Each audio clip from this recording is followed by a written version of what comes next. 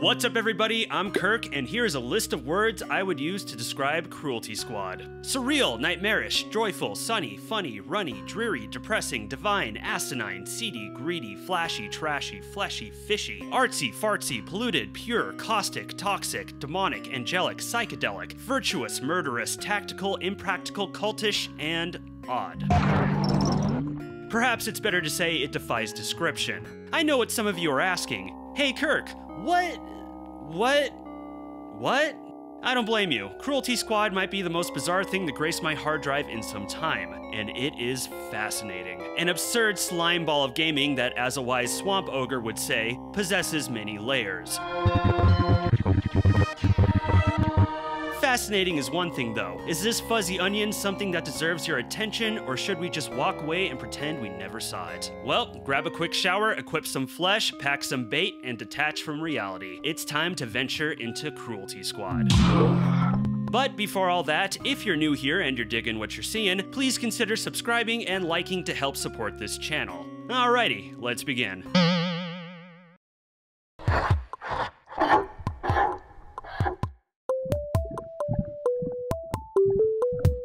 Originally released into early access back in January of 2021, with the full release dropping the following June, Cruelty Squad was developed by Consumer Soft Products and is the brainchild of surrealist multimedia artist Ville Kallio, who translated his unnerving, exuberant style into the game. I highly recommend checking out his Instagram to peek some of his art for the game, but also for his earlier paintings and sketches, which I think are pretty fantastic. Cruelty Squad is a tactical first-person shooter in the vein of old school Rainbow Six, mixed with an immersive sim in the style of the 90s Looking Glass games and Deus Ex. Although I think the dev's description says it the best. An immersive power fantasy simulator with tactical stealth elements set in a sewage-infused garbage world.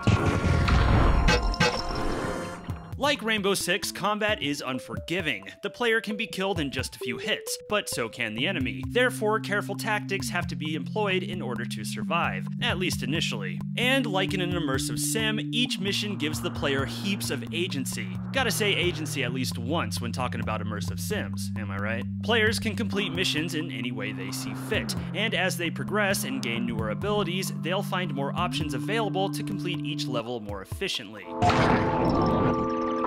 On paper, it might seem like an unusual gameplay combination, and as you'll see, it's not perfect. But in practice, the two styles complement each other nicely. In a good immersive sim, the player's actions and the way they play should matter, and when you combine that with high stakes tactical combat, it makes everything you do that much more consequential.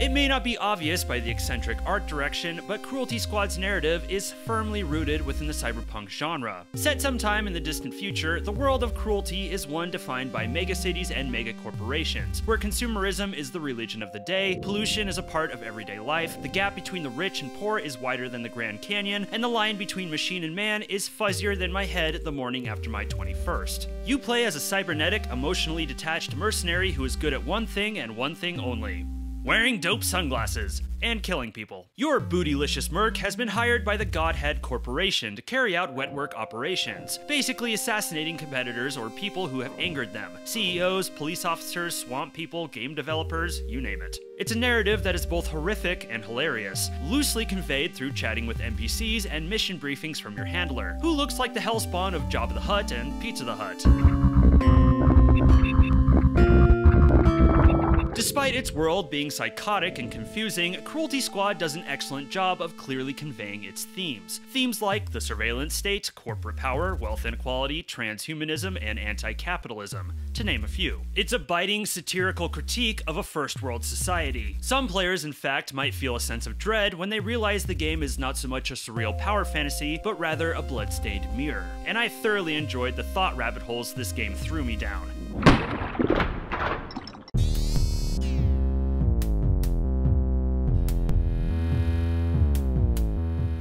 Cruelty Squad is composed of 13 missions with 6 secret missions that can be unlocked, making for a total of 19. Every mission has the same objective, kill the targets and get to the exit, and upon completion, the player is rewarded with cash. In between missions, you interact with a menu, where you can buy and equip abilities, look at the stock market, more on both of those in a bit, choose your loadout, and get briefed. You can also replay previous missions at any time, however many times you want or need to. And players can also turn on the punishment modifier, where enemies will inflict twice as much damage, but the rewards will pay out twice as much as well. Missions are made up of corporate office buildings, seaside warehouses, a cruise ship, and even a casino, to name a few. Level design is a highlight in this game. Maps are constructed in a way where players will have an easy time navigating them while also layering in numerous different pathways and options. And sure, while the visuals are abstract to the nth, they are implemented logically to help the player navigate with points of interest clearly highlighted.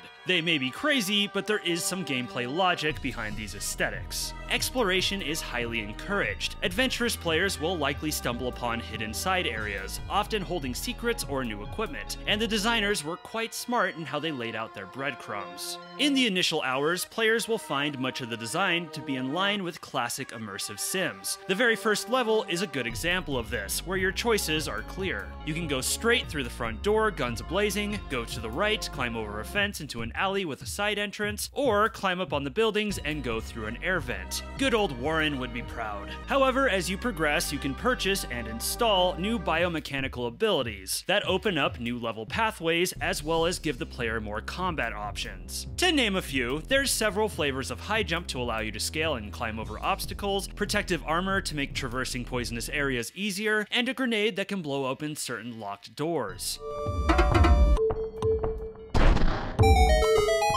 What really opens up the levels though is the Grappendix, a grappling hook made out of your intestines that can stick to anything and swing you around. I suppose Cruelty Squad could be seen as a psychedelic version of Inspector Gadget. While the jank of it can take some getting used to, it really is amazing how much freedom this ability affords you, to the point where the player can even go beyond the bounds of the map, with no invisible walls to stop them. Cruelty Squad is a game that refuses to restrict the player. If what you do works, it works. The cost of this is, well, some straight up jank. But in this game's case, the jank does not really detract, but rather complement the eccentric atmosphere. Upon completing a mission, the player is given a letter grade from C to S. Initially, I assumed the score was tallied by my time and how many people I killed or didn't kill, but no, it's just based on completion time. That's it. I thought this was odd, especially when compared to other games in the genre that would punish you for needless killing. But then I realized that for a player to obtain an A or S rank means that they were navigating these levels in a way where their only focus was on the targets, and got out without any other fuss. Someone who gets a C rank is likely going through murdering left and right and getting into time-consuming firefights. So I guess it makes sense. Plus I kinda like the subversion of morality playing very little part in this game. A major aspect of Cruelty Squad is growing your cash rewards by trading within the financial markets. Money can be invested in the stock market, and yes, your actions in the game will affect it. So invest wisely and pay close attention, because a savvy player can totally manipulate this system, as they should. If you happen to splatter an enemy in combat, you can collect their organs and sell them on the black market, which behaves similar to the stock market. But that's not all, you can also fish. Yes, fish. Equip a rod and find a pool of water, and you can catch a variety of species that can be traded on the fish market. It's awesome.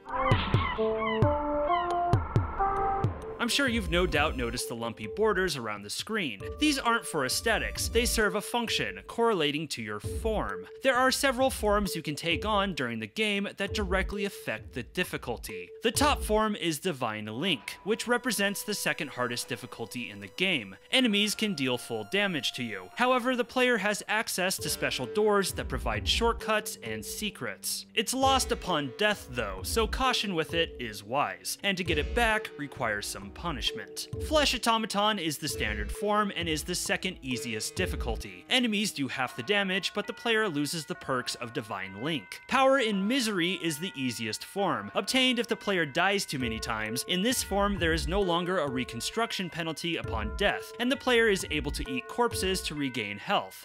Because of course they can. Most first time players will be primarily living in this form. Don't think of it as a punishment, but rather training wheels to get you ready for the late game. There's also a secret fourth form, which is the hardest difficulty. This form adds new targets to each level and more enemies that randomize. It may be better to think of it more as a New Game Plus mode. It's a really cool and well implemented system that, dare I say, is quite innovative, allowing the player to alter their difficulty strictly by their actions while also providing a clever way to add more replay value.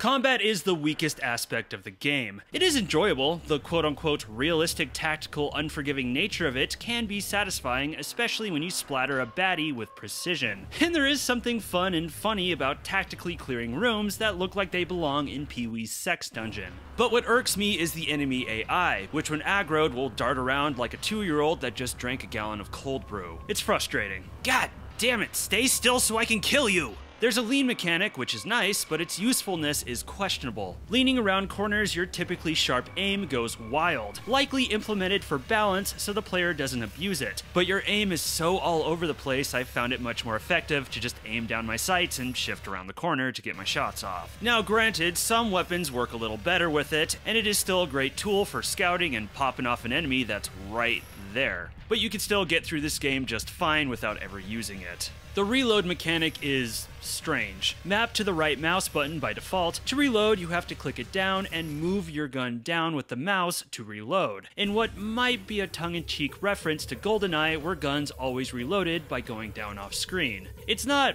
bad, it just takes some getting used to, and will cause some unnecessary deaths in the process when you don't pull your mouse down far enough to reload. The other thing I should warn about is that, sure, the game is a tactical shooter, but as you progress, become more powerful, and understand level layouts better, it's easy to start rolling through these levels like any other first person shooter, splatting enemies left and right. That's not a knock against it. The progression of power is one of the best aspects of the game, but if you're hoping to be taken back to the good old days of Tom Clancy, I don't think this game will do the trick for you. Also, some of the enemies I just flat out despise. There are these fat-headed goons that if they see you will warp your FOV and even cause you to uncontrollably shoot your weapon. I don't care what effect you're trying to go for, I hate it when control is taken away from me. But the worst are the slugs.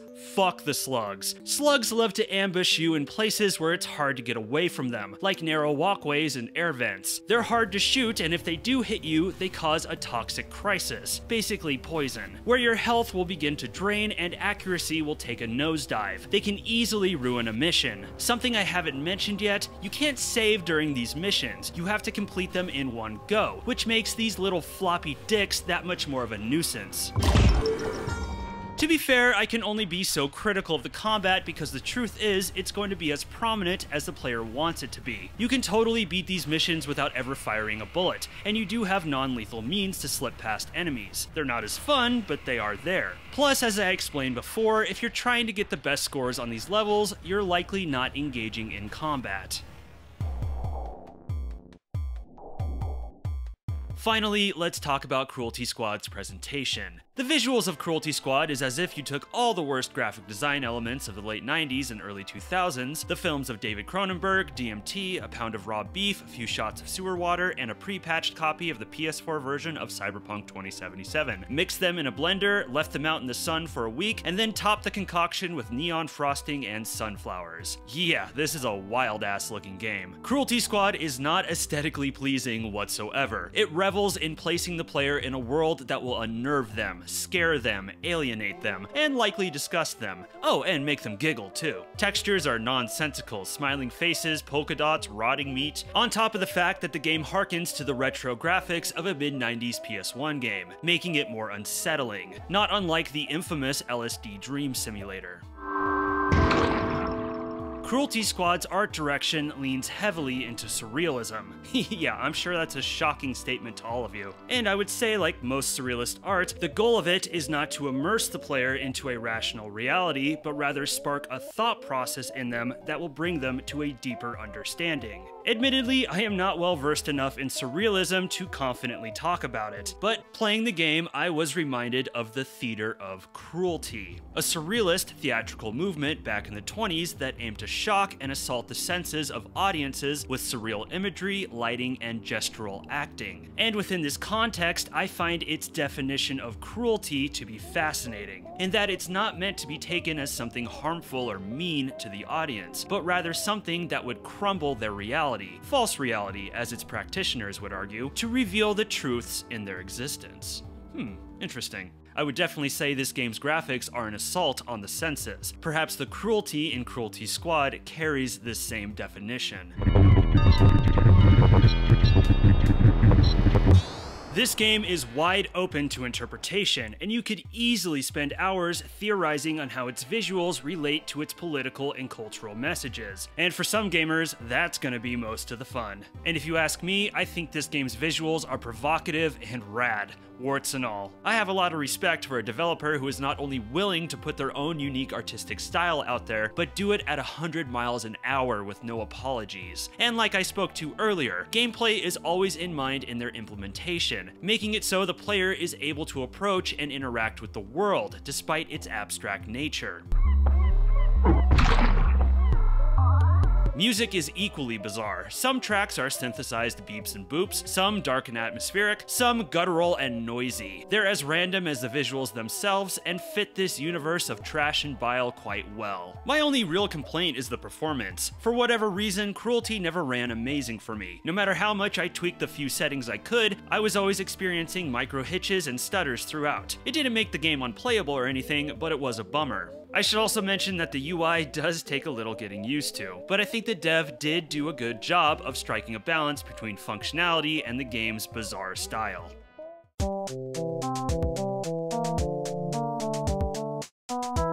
I adore this game. Cruelty Squad is one of the most unique shooters I've ever played and is easily one of my favorite games of 2021. Though far from perfect, it's an engaging, immersive sim and a fascinating artistic statement that not only challenges culture but also gaming norms. This probably goes without saying, but it's not for everybody. However, I think it's for more people than you'd think. If you're a fan of immersive sims, this is definitely something to check out. And if you've been watching this and at any point thought, huh, this does look interesting. That's enough of a reason right there to try this out. Trust me. The last thing I want to compliment is the sheer amount of hours you can get out of it. A playthrough of this game might take you around 6 or 7 hours, but just like Nier Automata, when you beat it, you haven't really beaten it. You can drop dozens upon dozens of hours in the post game, trying to purchase every ability, find all the secrets, and get all the best times. It is so easy to get obsessed with it, working to understand each map like the back of your hand and becoming more and more powerful.